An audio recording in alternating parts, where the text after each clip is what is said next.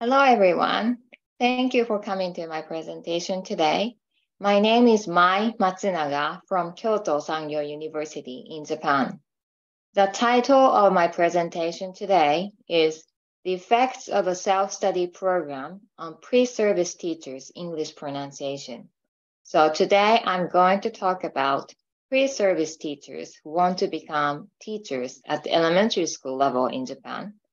So I'll talk about the results and effects of a self-study program those pre-service teachers conducted outside of the class on their pronunciation skills.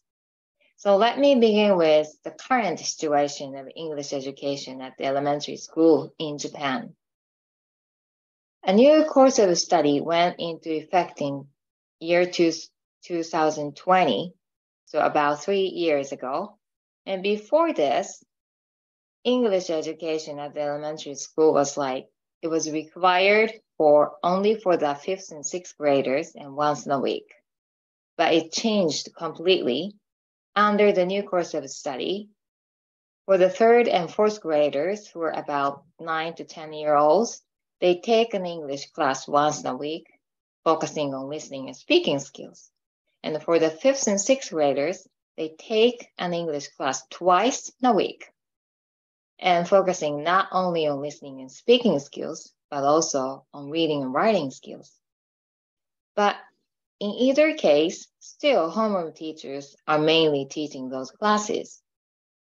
So as you can see, the, the hours increased and the level increased. So the question is, are homeroom teachers ready to teach those high level classes? And I would also like to mention about phonetics for pre-service teachers in Japan. As you know, English teaching in elementary schools mainly focuses on developing students' oral skills, at least in Japan, and teachers are expected to conduct classes in English. And teaching classes in English requires, of course, English speaking skills. But not only that, but also proper pronunciation to be good models for their students. But here, the reality in Japan is number one, phonetics is not a required course in a teaching certificate program for elementary schools. Two, a majority of pre-service teachers become teachers without appropriate knowledge of English phonetics. Therefore, three, in-service teachers do not have confidence in their pronunciation. So they don't have confidence in teaching English either. Based on this reality, researchers have suggested number one, a teaching certificate program should offer a required course in phonetics. This is ideal, but this is not happening. At least this hasn't happened yet.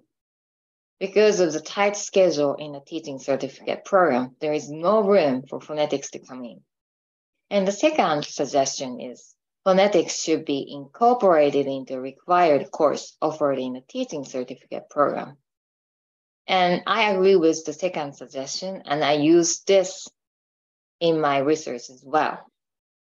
And what I wanted to do was to work with pre-service teachers, meaning university students in a teaching certificate, certificate program, to be ready to teach with proper skills, including pronunciation. So I decided to help them conduct a self-study program on English pronunciation outside the class time. Then, after a self-study program, research question one, how do the participants evaluate their improvements in their English proficiency and teaching skills? And two, what aspects of pronunciation skills do they think they still need to improve? And three, what kinds of English and teaching skills do the participants find necessary in regard to their future work as English teachers? And as highlighted in blue, number two and three are the research questions I would like to talk about in this presentation.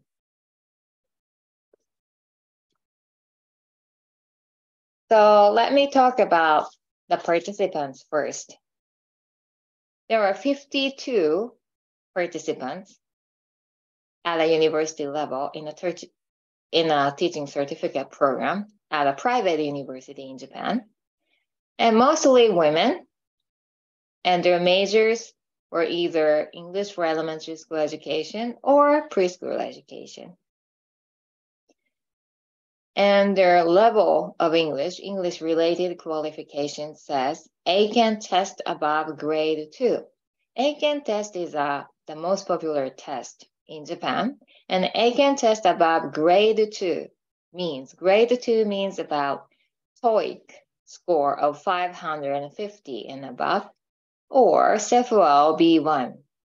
So it's a good level. And I should mention that this is higher than average Japanese university students. So the level of school is a little higher than the average level in Japan. So their English skills are not bad, rather good. And I used a textbook for the self-study program on pronunciation.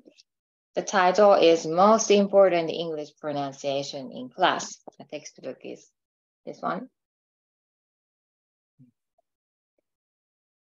And this textbook had eight sections and a total of 86 units.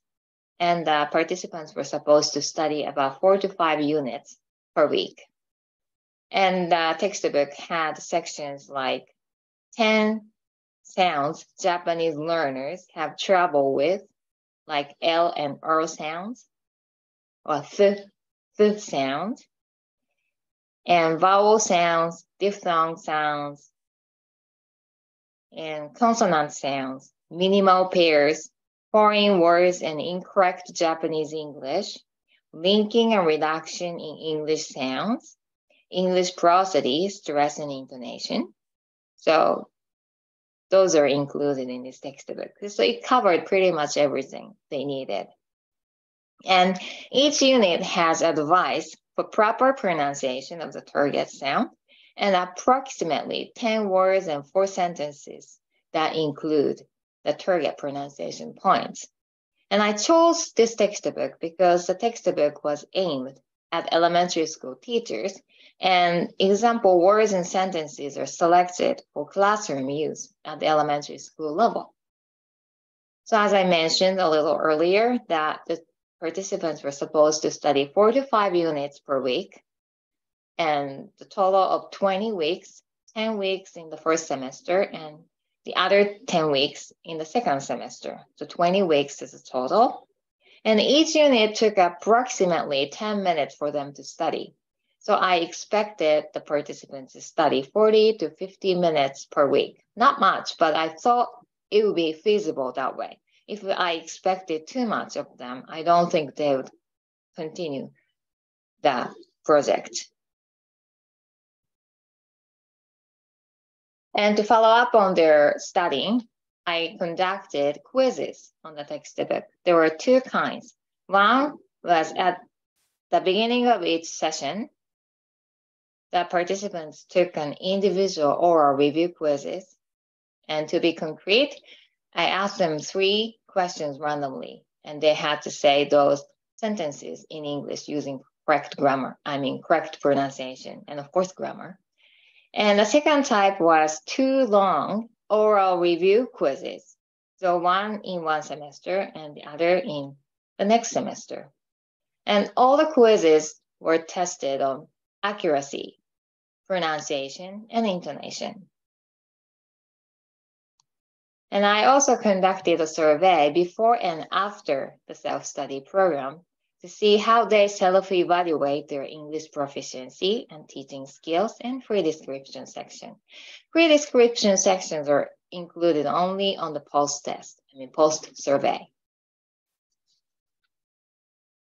And English proficiency included these five aspects, of course, pronunciation included, and I used six levels corresponding to the CEFL levels. So A1 to C2, and six was the highest.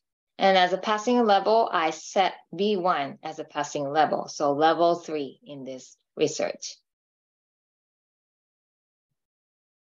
For the teaching skills, I looked at the four aspects listed here. And there are four levels, and I set the passing level as level three. So at the level three, for example, the participants can manage class activities properly in English, but not perfectly. That's level three. And level four is the highest, and that's perfect. But I don't expect to expect them to be perfect at that point. Level three was enough to conduct classes in Japanese elementary schools.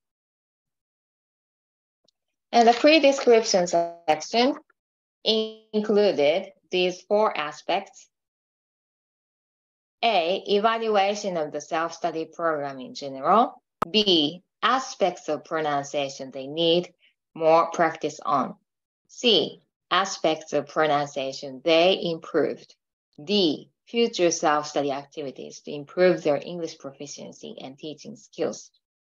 And as highlight, highlighted in blue in this presentation, I will mainly talk about the free description results. And this course itself was taught both online using Zoom and face-to-face, but mostly using Zoom because of the COVID-19 situations. And what I did with this self-studying, before the participants self-studied the target units of the week outside the class, in class, we learned together the target sounds, target words, and target sentences in the textbook.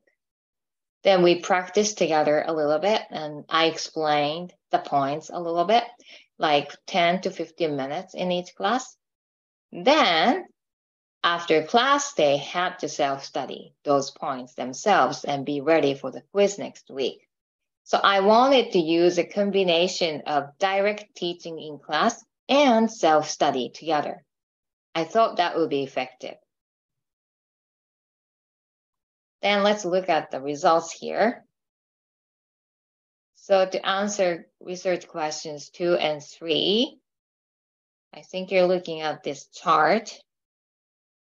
So the data in the pre-description sections was analyzed using this self-organizing map in the KH Coder. KH Coder is a free application to analyze qualitative data like this, text data, as quantitative way, in a quantitative way. So you can see qualitative data in a more objective way. So I use this KH coder to analyze my data. This self-organizing map categorizes frequently used words into groups. The words in the same groups are used in a similar context. So therefore, by looking at the self-organizing map, you can roughly grasp main context, meaning topics or themes participants try to describe. And this figure you're looking at shows eight groups, eight colors, right? So it means eight groups. And these eight groups can be narrowed down to four groups. I looked at the words and stuff and I narrowed them down to four groups, half. Then can you see the black lines and numbers like one, two, three, four? Those were added by me. And also the data was of course in Japanese. So everything was done in Japanese. So I put some English translation to the main words in each group, but not all of them because of the limited space in each category. But you can roughly see some English words in each section and see what kinds of group they are. So group one, which is a, 1A and 1B, on the right upper side here, 1A and 1B, beige and light green section. Okay, this is one group, group one, and the participants, this shows the participants' evaluation of the self-study program in general. And looking at the words, the participants thought learning pronunciation was useful and necessary for them to teach their students correct pronunciation. And also the participants had positive attitudes towards the self-study program on pronunciation skills. Good. And group two, on the light side, I'm sorry, no, on the left side, 2A, pink, 2B, purple, 2C, down at the bottom, 2C overlapping with 4A. Can you see that? 2A, 2B, 2C. This is group two. Group two describes aspects of English pronunciation the participants still needed to improve. So looking at the words, the participants struggle in using proper pronunciation is showed, shown, and the participants tended to use appropriate pronunciation during their practice time or review quizzes, but they tended to forget to use proper pronunciation, and instead, they tended to use Japanese English when they're not conscious about it, especially in teaching situations. Okay, so group two showed the struggle. And group three is right in the middle, 3A and 3B, gray and orange. Group three shows the participants' evaluation of their improvement in using English pronunciation. They struggle, but also at the same time, they improved, of course.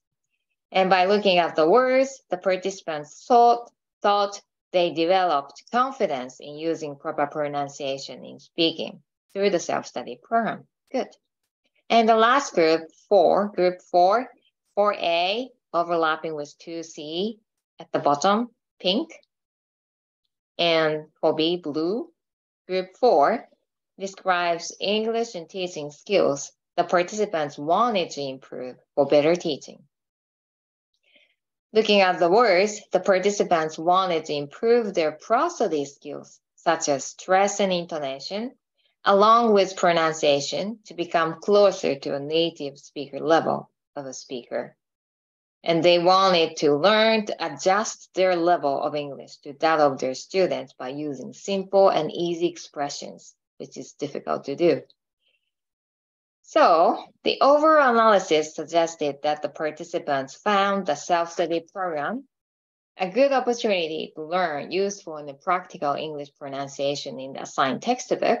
And they also realized that they needed to acquire oral English skills, pronunciation and prosody, and speaking skills with proper grammar, which would enable them to effectively teach English to young learners with limited English ability so I think they had an opportunity to reflect on their teaching, what they already have and what they needed to improve more. So it was a good reflection time for them. That's part of a good points of conducting a self-study program, I think. The conclusion here, number one, prospective teachers can develop a habit of self-studying. To begin with, I wasn't sure if a self-study program would work. Maybe they don't study at all, or maybe they study. I, I didn't know. But after this research, I became sure that self-studying works if a teacher provides them with proper materials or they that a teacher guides them in the right direction so and this works and this is really good because as i told you before in japan at least there is too much to do in the teaching certificate program and there is no way they can improve their english skills or teaching skills properly in the limited courses so what I thought would be important is what and how much they work outside the classroom, meaning a self-study activity. So they tried really hard and I didn't, I haven't mentioned the quiz results, but all the quizzes, the average of 97% correct answers. So it means that they spent enough time practicing and studying for the quizzes and practicing their pronunciation. So once prospective teachers find self-studying important and crucial in their teaching, they work on it. So I found that.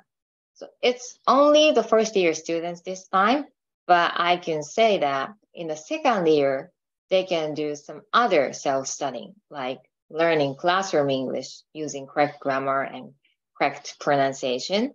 And in the third year, they can do speaking practice with using correct grammar, which is really difficult, high level. And in their fourth year, they're ready to go into actual teaching practice at elementary schools with all the skills they learned through the self-studying. So I can see that's happening and which is really good for me to find out. And number two is participants notice gaps in their knowledge and skill sets, as I mentioned. They understand what they already have as a teacher and what they still do not have as a teacher. So what they have to work on. And finally, number three, a combination of self-study and direct interaction is essential for successful, successful self-study programs. As I mentioned a little earlier, I wanted to use a combination of self-study and direct instruction in class. I didn't want to have the participant just self-study outside of classroom without my instruction in class because I didn't think that would work. They would just give up because they didn't know what to do or how to do things. So I used a little bit of time in each class, like 10 to 15 minutes, explaining and practicing together. Then they know what they have to do outside the classroom. Then let them do what they have to do. And it worked really well. So I think a combination is important. So these are the things I found. But overall, I think self-studying can work well if the the instructor, this time myself, if the instructor is ready and provides proper materials for the students. Thank you for listening to my presentation. And this study was supported by JSPS Kakenhi Grant. And these are the references.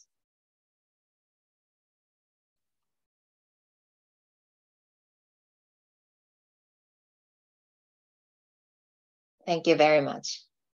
Bye bye.